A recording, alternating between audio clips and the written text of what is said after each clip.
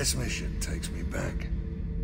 I used to do a little scorched earth work here and there. Then the Batarians started muscling in. No one's as good with terror tactics as they are. I mean, the Krogans will come at you, break your face, kill your family. But the Batarians, they'll turn your planet into a glass parking lot without a second thought. Trying to remember, what was his name? Salarian infiltration specialist. Hundred story man. Guy could disable a station security with a few taps on an Omni tool. He went to work with Eclipse a few years back. Had to kill him for a job.